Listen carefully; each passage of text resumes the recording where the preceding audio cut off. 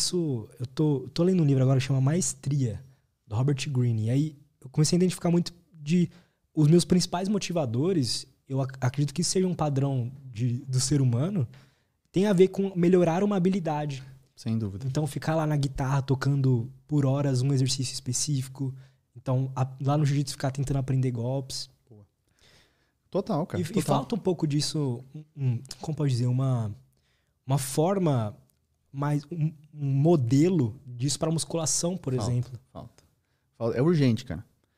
Estratégias motivacionais para mim também, assim. O aluno chega na academia, você tem já em mente, eu pelo menos consigo visualizar o que, que ele vai fazer, esse cara.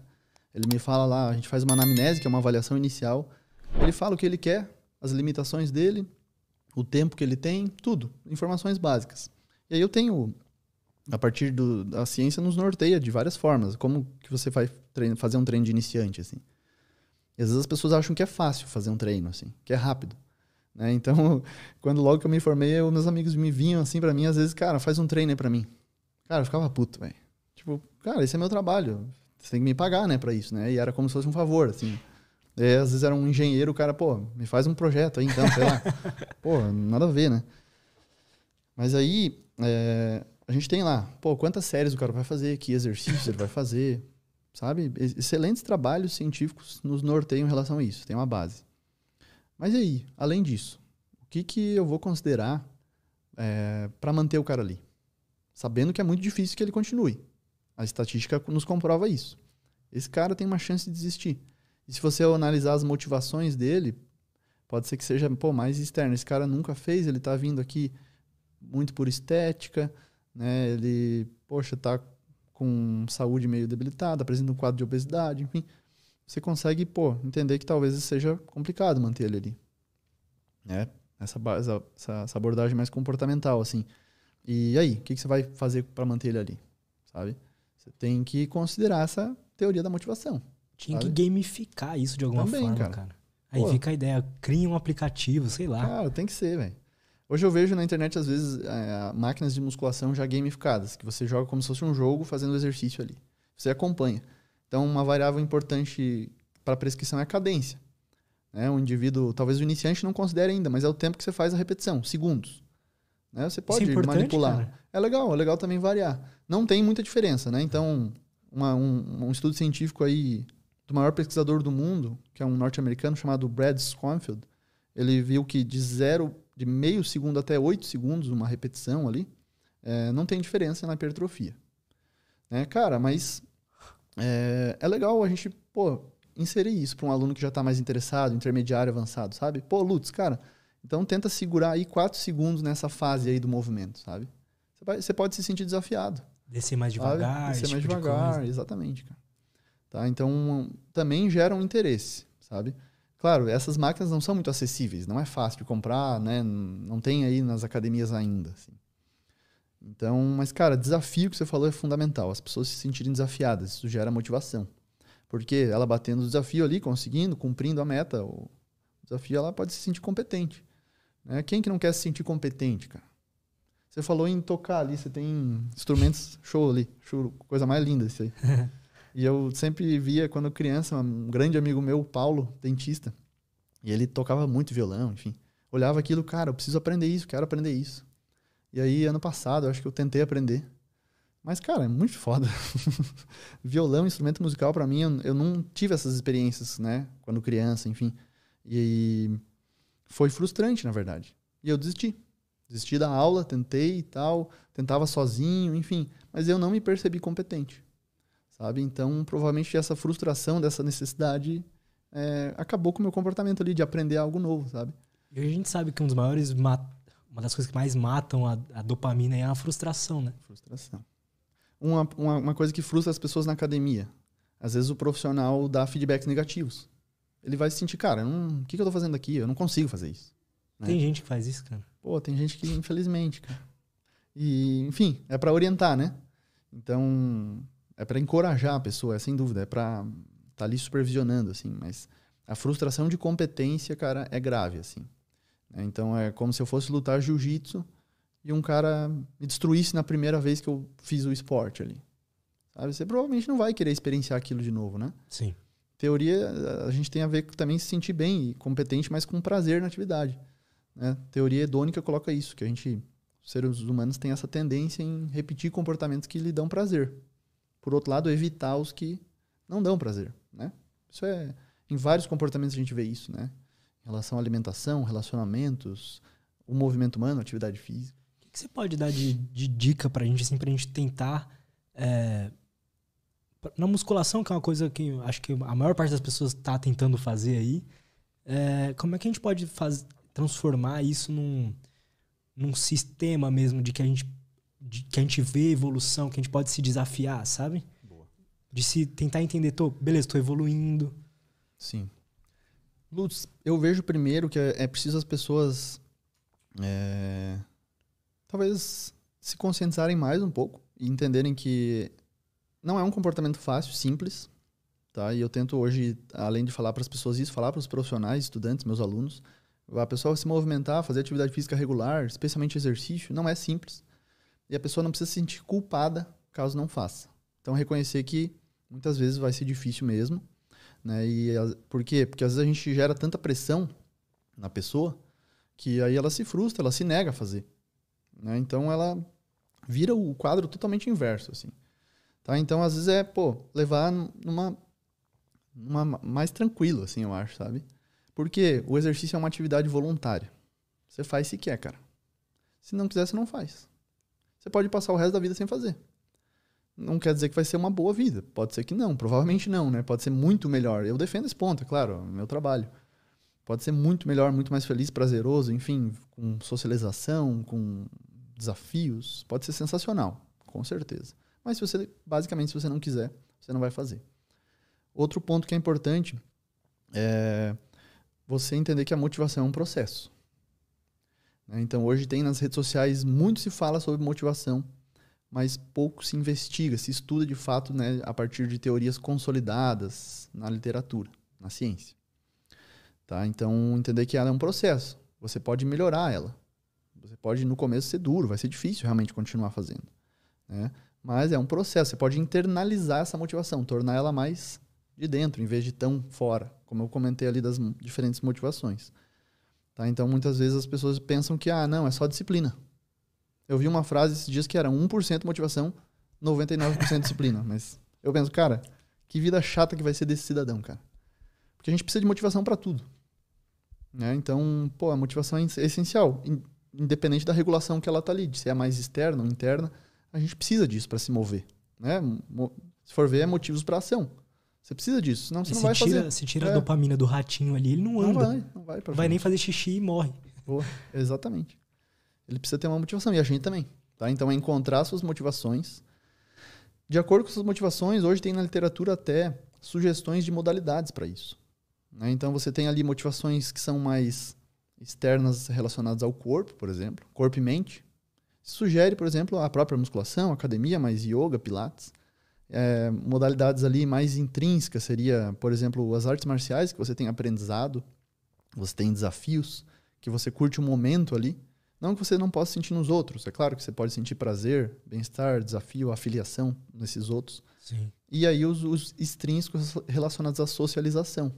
E aí a, a porrada de esportes que a gente tem, né? Eu geralmente não falo muito de esporte, eu falo mais de exercício, assim. Mas foi no esporte que eu comecei, né? Sempre, nunca fui atleta, mas é, agradeço sempre meu pai e minha mãe por eles me incentivarem nisso, porque minha carreira começou aí. E o esporte tem a socialização, principalmente os coletivos, né? Naturalmente, não. assim. Então, quantos, que esporte você gosta, assim? Cara. Tipo coletivo de jogar? Boa assim? pergunta, nenhum. nenhum? Coletivo, cara, boa pergunta. Eu comecei a gostar de futebol faz pouco tempo. Futebol. Faz pouco tempo. De jogar mas... assim ou de assistir? De jogar também, jogar. de tudo. Uhum. Quando você tá jogando, cara, você não pensa em outra coisa, né? Não. Você tá focado ali no jogo, você tá se divertindo, você tá, cara, querendo ganhar, sabe? Querendo competir. Essa é uma motivação de mais alta qualidade. Você tá ali, imerso ali, totalmente presente ali. Nada mais importa, sabe? Verdade, cara. Isso é um estado psicológico que a gente chama de flow, inclusive. Né? O flow é um é fluxo, traduzindo, e você entra num estado de total concentração, absorção total na atividade. Sabe? Tem atividades que favorecem mais, outras menos. Né? Mas esse foco total é, é, a mais alta qualidade de motivação. Cara, sabe? Você está ali, está totalmente prazeroso, se sentindo desafiado, sabe? Como se eu pedisse para você fazer um exercício aqui agora e você, tum, nada mais importa, sabe? Você tá ali focado. É, então, cara, isso pode ser desenvolvido, sabe? Isso pode ser, é um ponto a ser alcançado, Como? sem dúvida. Eu acho que tem muito a ver com aprendizado, sabe? Com você aprender e se dedicar a, evolu a evoluir naquela, naquela, aquele esporte, naquela habilidade, sabe? Crossfit, né? Se a gente for falar de crossfit, inclusive tem um vídeo circulando aí de um acidente de uma academia de crossfit, né? Bem grave, inclusive. O que aconteceu? Caiu a barra, o cara foi fazer um levantamento olímpico, né? Clean and Jerk é o nome. E ele teve um erro técnico, acredito, assim, e caiu a barra na cabeça, assim. É uma coisa, um acidente feio, assim, né? Enfim, a gente não pode julgar muito o que aconteceu ali, né? Mas é, no CrossFit, o lado muito bom é esse desenvolvimento, esse aprendizado de diferentes movimentos, exercícios, atividades. E as pessoas se motivam, têm orgulho, se sentem competentes. Você, não, não, você provavelmente tem alguém na sua rede social que é crossfiteiro e que tem orgulho sim, sim. disso, posta todo dia quase. Sim. Sabe? E às vezes a gente acha, pô, que chato, o cara só posta isso, né? Mas, cara, ele tá envolvido totalmente naquilo. Sabe? Então ele vai batendo recordes pessoais. Cara, eu tô pegando tanto peso no agachamento, no back squat lá que eles chamam. No, na outra semana, no outro mês, ele vai batendo isso e vai se sentindo motivado, sabe? Então é uma percepção de competência, aprendizado de novas habilidades, novos movimentos, porque lá é muito variado né? Então, o conceito lá do criador ele é uma, uma atividade altamente variada. Então, vai ter remo, vai ter movimentos olímpicos, ginásticos, corrida, natação, um monte de coisa. Nos jogos, né? Nos, nas competições pode ter meio que de tudo, assim, quase.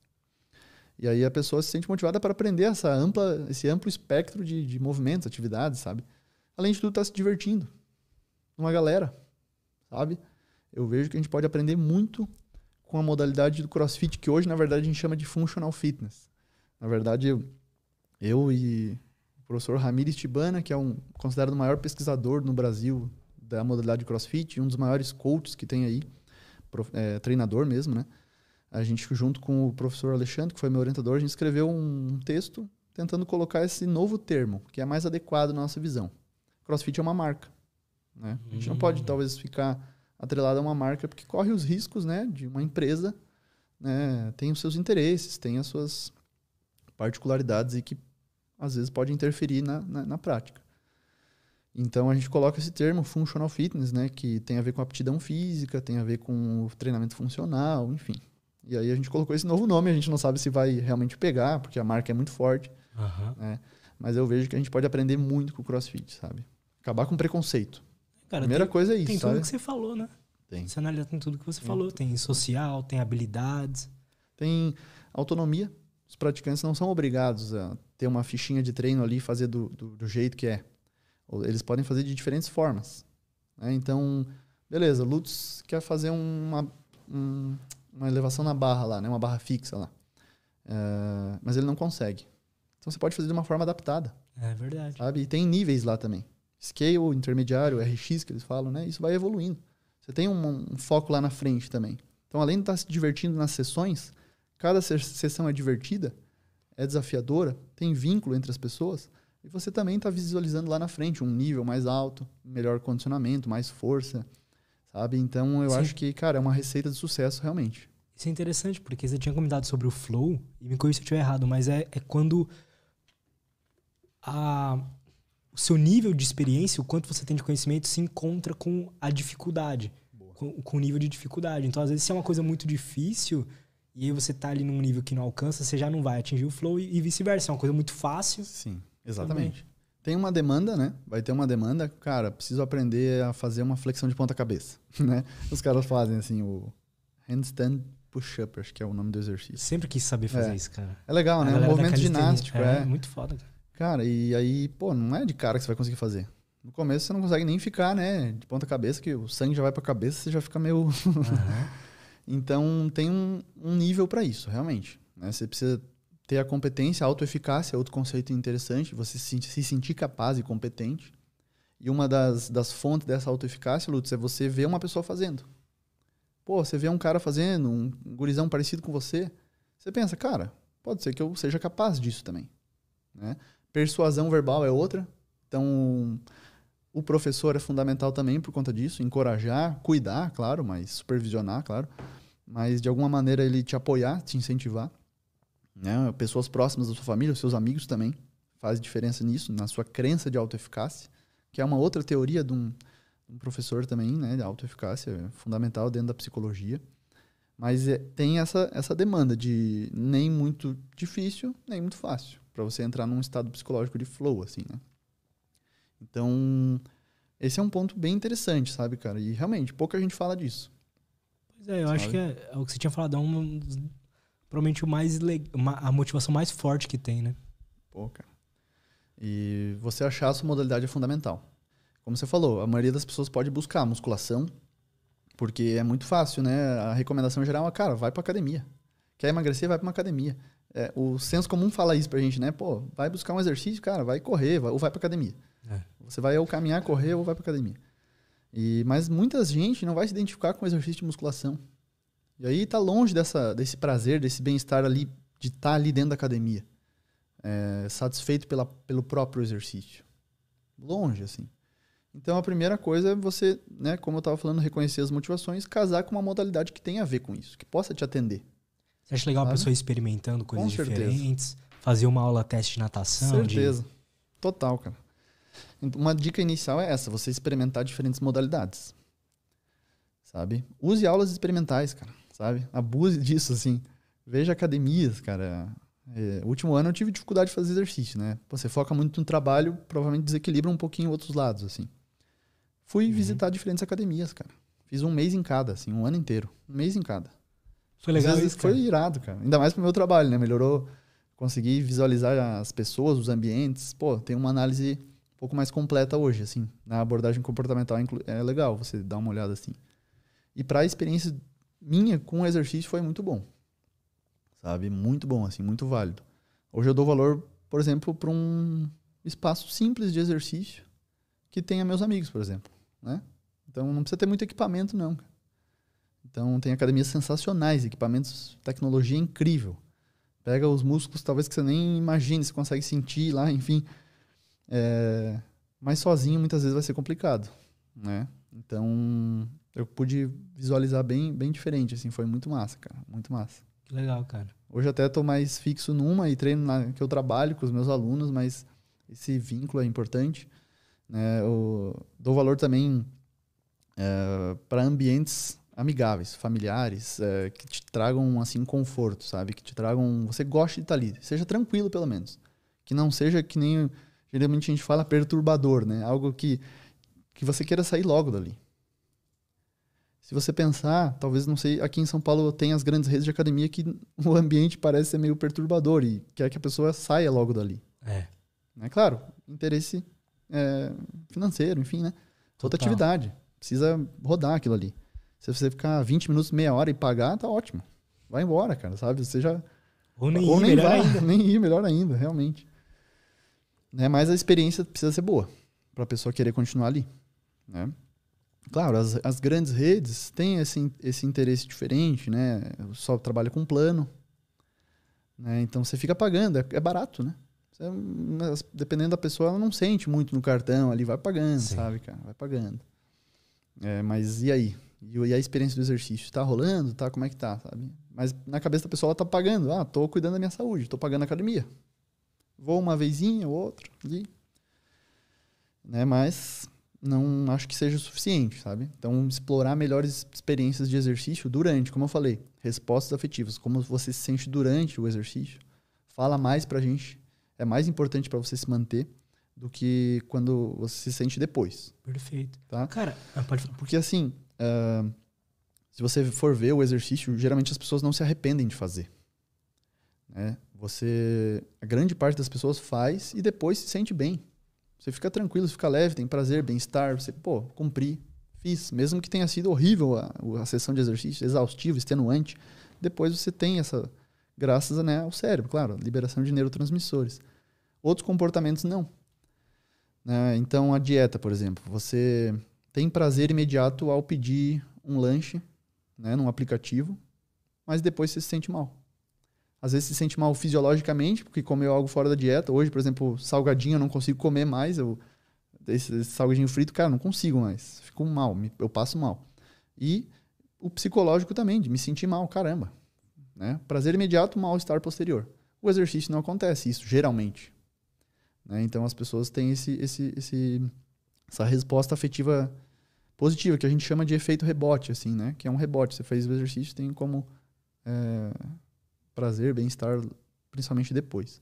Mas as pessoas têm que considerar durante a sessão, sabe? É, ser prazerosa durante o exercício é bem importante.